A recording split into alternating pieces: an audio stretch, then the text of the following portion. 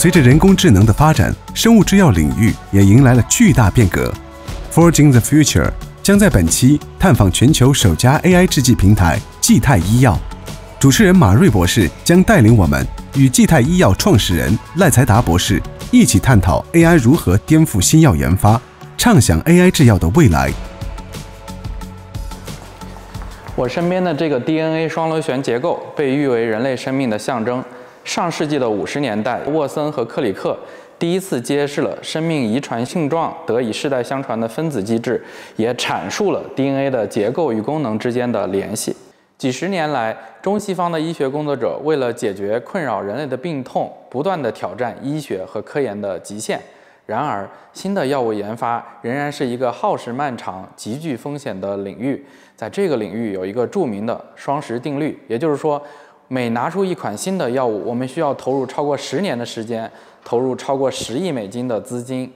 那么，摆在我们面前最大的一个难题，实际上就是如何提高药物研发的这个效率和成功率。如今有一个新的技术叫做 AI 制药，它为我们提供了这种新的可能。它极大的提高了药物研发的效率和递送系统设计的精准度。那么 AI 制药是怎么应用在药物研发领域的？然后它是怎么帮助我们突破这些研发上的瓶颈？我们又是怎么用 AI 的技术来实现更精准、更高效的递送系统的设计的呢？今天我们来到了全球首家聚焦于递送系统的 AI 生物科技公司济泰医药。让我们听听创始人赖才达博士对这项技术的思考。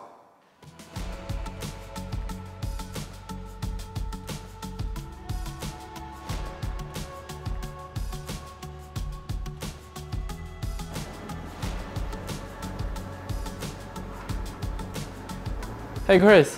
哎，好久好久不见，亲自做实验。上次看你做实验还是在波士顿呢。啊，对对对，挺久没做。你在做什么呢？哦，对我们这边其实跟我们同事正在准备啊，就是新的一个 lipid nanoparticle，就我们这边正在包送一些这个 mRNA 核酸的这样的一个序列，然后这个是我们之后要做一系列疫苗的测试，就包含就在这个试管里吗？哎，就在这里面，这里面就有一些这个纳米粒的这个纸质，然后包覆了一些 mRNA 的序列在里头。所以 Chris，这个 AI 制药它的核心价值场景是在什么地方？然后为什么用 AI 制药能够让我们能够 think out of the box？就我们知道，其实，在半导体领域或其他科技领域，有所谓的这个摩尔定律，就是每十八个月，他们这个计算的效率在同个面积底下，它能够升一倍。但在医药这个行景里面呢，其实它是有一个倒过来叫 Erom's law，就 Erom 叫 E R O M 嘛，就把这个摩尔倒过来拼，反反摩尔定律，这反摩尔定律的意思。对，所以它顾名思义就是说，医药产医药领域它是唯一一个，它是每几年它的开发效率呢就会减半。所以我们之前听到说，哎，十年磨一剑，或者他们讲十亿美元磨一剑的这个过程，那这个就是在医药里面，可能未来十亿美元真的都不够做一款药。这个很大一个重点就是在整个药物分子设计这个领域，为什么这么难去做？因为分药物分子设计的空间是十六十次方，对，就全全宇宙的分子加起来大概比这个可能还少一些这样的数量级。所以这么大的设计空间里面呢，可想而知，它设计能够找到一个可用的药物方案是非常困难的。所以这个我们想到一个逻辑是：诶，能不能透过用摩尔定律去攻克反摩尔定律？透过算力不断的提升，不断的更有效率的搜寻这十六十次方这个非常大的设计空间，然后提升找到好药的这个机会。所以其实 AI 呢，在制药厂里面，第一个最直接的应用场景，就是在整个搜寻效率上的一个提升。能够把本来比如说要三五年找到一个这个 lead molecule PCC 的这个时间，把它缩短到几个月的时间。那这个是我们看到现在在医药这个 AI 应用场里面，现在是最活跃的一个应用的地方，也是大家可以用这个场景去所谓 think outside the box 的一个第一步。那对我们接下来来说，刚刚所提到的，我觉得叫 AI 制药一点零版本。那对我们现在所包括很多美国现在新出来的新一波的这些药企来说呢？我们现在在解决 AI 制药二点零的一些的问题，什么意思？就是我们现在在做的是基因治疗跟核酸治疗的这个应用场景。那这就更有趣了，因为我们刚刚前面也提到说，就是基因核酸相当于是人这个电脑的源代码。当你把它解码完之后，我们能不能够去把这个源代码去编码，然后去解决一些疾病的一些根本问题？那这个 AI 就有更大的应用场景。简单就是说，我们能透过人工智能去解码人自己本身的源代码。去读取，然后甚至可以去写一些新的代码进去，看能不能把一个疾病的细胞把它编回成一个正常的细胞。那这过程里面就有非常多像我们基泰在开发的，怎么把这些源代码的这个序列啊，这些核酸序列能够精准的送到每一个细胞里面去。那这个我们就透过一样是 AI 的这个手段去设计各种的纳米火箭，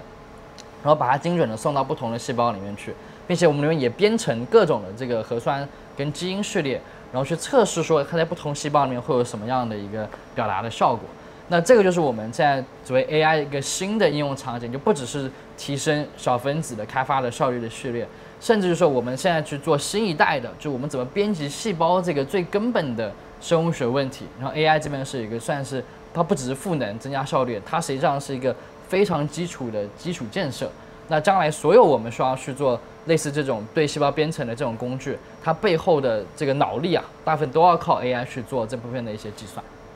明白了，所以就是一点零是小分子一个空间的智能的搜索，二点零是怎么去呃通过自身的源代码加上递送来做出更新的药物，所以这样就能够 think out of the box，解决用摩尔定律解决原来的反摩尔定律面临的这些困境。是的。那说到核酸药物，其实马斯克也提过嘛，就是他非常看好 mRNA 未来，他认为这这样的一个新的类型的药物可以治疗所有的疾病。那你你是怎么看的？然后你认为核酸药物的未来会非常有前景吗？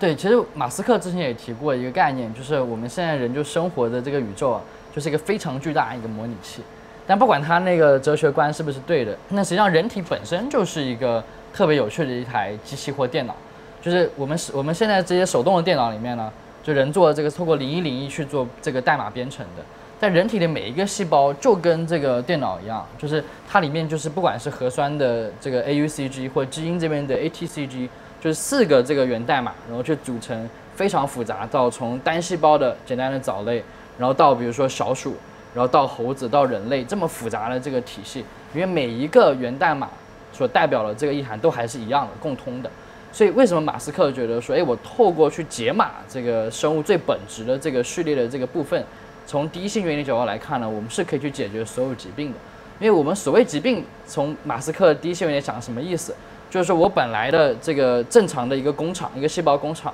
它里面的这个这个软件出问题了。所以它本来该表达某一些蛋白，该表达某些通路的，它现在不表达这些通路了，所以它才从一个健康的细胞变成一个疾病的细胞。所以理论上呢，如果我们能够进行一个编程，把本来有疾病的这些细胞进行一个重新编码，甚至我们可以送一个新的编码进去，让它产生一个新的功能，那我们就能够像编这个电脑程式一样的方式，把一个之前有 bug 的这种这种这个程序，把它编回成一个正常的一个程序。所以从理论上来说，它是可以解决所有疾病的。但马斯克大家知道，他想的都是这个这个非常远远端，然后这种星辰大海的一个一个可能十年、二十年甚至一百年之后的事情。那从今日来说，我们要去解决这个人类每一个细胞的源代码问题，还是非常非常困难的。尤其第一块，我们怎么去把每一块的这个核酸基因序列送到对的细胞里面去，送到对的组织里面去，这块其实并没有被解决。那这也是我们基泰所专注的一个非常这个核心的重点，就我们怎么去分析好。比如这个蛋白需要在这个细胞里面怎么样去表达，但是我们要怎么把这个核酸序列送到，比如说我肝的肿瘤细胞里面去，肺的这个纤维化细胞里面去，这一整块都是一个未知的领域。所以这个先解决完之后，然后我们再去透过这种我叫做这个火箭的方式啊，把各种的基因的编辑器、各种的核酸编辑器送到每一个细胞工厂里面去，这样我就可以去解决所有的这个疾病问题。这个东西是我们刚刚说我们用 Dataless 那边用高通量的方式做出来的。那这是全球第一个，其实可以用 AI 去设计这种纳米递送载体。然后呢，把这个里面其实包覆的是一些 mRNA 的这个序列。你看啊，现在这个里面就是我们现在正在稀释的这个溶液。最后当然会把这个里面的这个样本导到动物里面，然后看它具体的这个抗原的表达。那这个其实就是我们现在。特别火，不管是新冠疫苗、这个 mRNA 那一系列的肿瘤疫苗，都是用这种方式去转染细胞，然后表达出来我们想表达的这些蛋白。那就是具体的问一下，就是其实要精准的把这个呃 RNA 的序列递送到特定的细胞，那让它在达到这个细胞之前不被降解。那这是一个挺挑战的事情。那咱们基泰在这个事情上具体上是呃是怎么来做的呢？那实际上人体是非常复杂的一个体系。比如说我们从这边注射一管这个 LNP，就 lipid nanoparticle 进去之后，首先它在血浆里面，它能够逃过免疫细胞的攻击，就像人体内自身的这个防空系统一样，它先逃过这一块。第二块呢，它在没有这个 GPS 导航底下，它能够找到我们想让它去的这个组织器官，这是非常复杂的一个过程。然后，并且它到那个器官附近之后呢，它还要能够找到对的细胞，然后进行一个转染。转染相当于就是说它要能够攻破人的这个细胞膜，然后并且能够成功进到那个细胞膜里面它要进入细胞，它要进入细胞。然后细胞里面有一个叫内含体逃逸的这个过程，就是说它里面有各种的溶酶，就相当于是这个地面部队开始进行一个展开大量火力的这个这个进攻了。那这个时候就会把大部分其他的，比如说核酸啊、DNA 的片段，把它给给给这个切碎。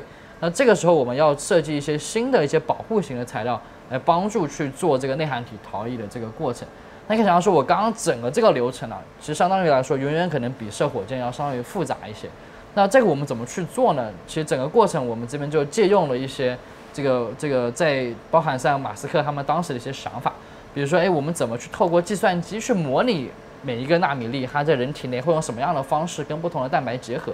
然后会用什么样的方式让免疫细胞它不容易上面去做一个复制。然后第二块我们会分析说，哎，它在不同的大量的动物的这个递送的数据里面之后，我们知道说，当它这个呃这个纳米粒上面有一些特征的化学性质之后，它有可能比如说在肝有更高的复集的效率，或者在这个肺这边，或者在比如肿瘤在不同的微环境里面，它会有什么样的一个复集的特征值？那这个都是透过我们透过大量的高通量实验跟 AI 的算法之后，我们才能够得到这边一些新的我们叫 features 的这个搭建。通过这个，我们去设计一系列新的脂质跟脂质联用的一些材料，然后帮助这个纳米能够成功进到人体内。同时呢，我们也会去做这个内含体逃逸的优化，我们会在高通量去设计大量细胞的筛选，然后知道说，哎，不同细胞里面它是不是可以达到很好的逃逸的效果，一样透过大量的数据，然后去迭代回我们算法的这个优化，然后帮助我们去解析说，哎，我这个纳米粒上面我们用什么样子这个突出的特征值。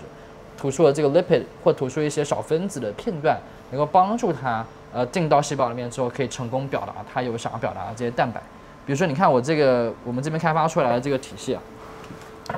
那这个非常有意思啊，就是这个红色这条线呢，其实是 m o d e n a 开发出来的这个 SM102 这个递送体系，而蓝色是另一家叫 MC3 Alnylam，就国内大部分的疫苗是用这样的递送体系的。透过我们刚刚提到，就是 AI 去设计大量的脂质结构。然后通过高通量，能够一周能够产生，比如说上千级的这个数量级的，甚至一个月产生上万级的这样的一个训练的过程，我们现在已经可以达到上百个，远远超过全球金标准这样子表达的一个 LNP。那这个每一块其实相当于一个药企可能都要花每一个小点这边，他们可能药企都要花三到五年以上的时间开发，对，每个点都是一个 formulation，每个点都是一个 formulation，所以这是都是咱们的实验数据。这个每一个都是动物的实验数据，所以明白。这个就是比较有突破性了。就刚刚提到说，AI 的特征值，就是它可以非常快速的加上我们高通量的这个实验搭建完之后，非常快速的去迭代本来传统要非常长的时间才能找到的优化的解，在十六十四方的空间里面找到最适合匹配的递送的纳米火箭。那这个就是我们现在全球我们基泰发明的全球第一台可以用高通量去制备纳米的 lipid nanoparticle 这样的一个体系的设备。那这个我再来演示一下我们整个工作工作站的这个这个这个操作。所以现在我就可以去选用，比如说我现在要开发这个到干的这一系列的呃这个递送的呃靶上的 lipid nanoparticle，那我现在可以设计整个攻占的选择，还有它后面的一些一页的这个设置。那我这边直接可以选用，比如说这个呃系统的开始。就药物递送有点像是这个飞飞机一样，射火箭一样，对吧？就其实它整个这个过程中，我们是尽量去模拟体内的各种的这种递送条件，就是像呃流体力学这种感觉。那人体内部的递送是非常非常之复杂的，所以我们必须能够设计一些实实验的这种像做这个风洞实验这样的这个能力，让我们去测试每一个纳米小火箭在不同条件里面它会用什么样的递送的这个物理跟化学特征。那这个时候你需要非常大量的数据，但是现在传统人做这个事情的通量是非常低的，它大概三十分钟呢只能准备一两个这个样品，那这个数据量是完全不够 AI 去建立一个学习系统。所以为了能够让整个通量能够快速的上升，在各种的物理化条里面可以去做一个测试。那我们接下来又开发了一个非常大规模自动化，能够一个一个，比如上千上百万个去测试各个不同的递送条件，这样子的一个这个呃平台开发。我我想更清楚的了解，就是说。呃，那现在的 LNP 能够治疗的疾病种类主要有哪些？然后未来可能还还能解决什么疑难杂症呢？核酸这个领域啊，其实现在全部都还是由递送本身的技术所限制的。所以刚刚提到说，虽然理论上像马斯克所说的，它能够治疗所有所有的疾病，但是因为现在这个火箭，我们现在还比如说只能送到月球，还送不到火星，所以我们能够解决的问题呢，还是根据我们能送到的地方，还有送到的效率这么去做一个限制。那现在全球领域这个核酸应用最好的是疫苗，为什么疫苗比较这个是第一个能够成药，而且并且创造极大价值？你像新冠疫苗这个产品，光一个这样 RNA 的技术，相当于拯救了整个欧美在疫情的条件底下，它怎么去复苏，基本上是靠这个新冠疫苗所创造出来的这个这个价值所拯救的。那这个过程之中呢，其实为什么疫苗是最好做的？其实一方面是因为疫苗它只要相当程度低的，去它不用很精准打到某个器官，它只要在体内。稍微能够表达它抗原的这个蛋白序列，它就能够达到一个这个抗原产生抗体，然后产生免疫的这个作用。所以这整个过程其实相当于对这个，假如以火箭的这个案例来说，它可能只相当于受到大气层的这个领域，上相当于是非常简单的，它表达的量也不用这么多。但是呢，一旦要达到其他的疾病，比如说我现在需要去做蛋白替代，像我们现在公司也开发很多方面的产品，比如说我人体。有的人，比如说他因为一些基因疾病，或者他一些后天的一些缺陷，他有些蛋白产生不了了啊。比如说像胰岛素、糖尿病的这个患者，就是产生不了这个这个多肽，或者有一些天生的，比如说一些代谢酶、一些立腺体代谢酶啊，一些肝的代谢酶的缺失，造成他人体的一个功能的一个缺失。那这种时候，我们可以直接透过刚刚提的这个火箭的载体，送到人体最大的脏器之一就是肝这边，然后去表达大量的它需要能够。这个替补替代的这些蛋白，那就可以去把它本来缺失的功能给补回来。那这个叫做蛋白替代，就是或代谢酶替代了这一整系列的疗法。这个我觉得也是相当于是我们现在这个递送平台能够做的下一步可以应用的场景之一。那再往后也包含到人体内没有的一些蛋白，比如说我们现在能够做到在肿瘤这边啊去产生它抗自己的双抗，那我可以透过一样这个火箭载体。很精准的打击到肿瘤的微环境里面去，然后释放出来之后，转染肿瘤细胞，骗过这个细胞呢，让它产生能够抗自己的双抗抗体，那这样可以把这个免疫的这个细胞叫过来，把它自己给吃掉。那这个可以大幅度的解决现在肿瘤上碰到的各种问题。